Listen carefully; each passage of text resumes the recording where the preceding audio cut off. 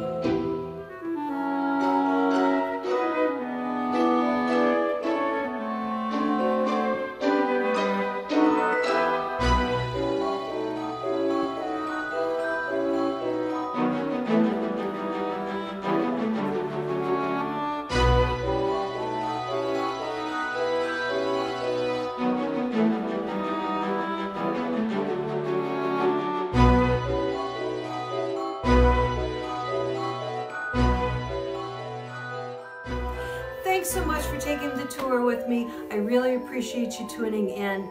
And from me to you, have a very Merry Christmas and a Happy Pooh Year.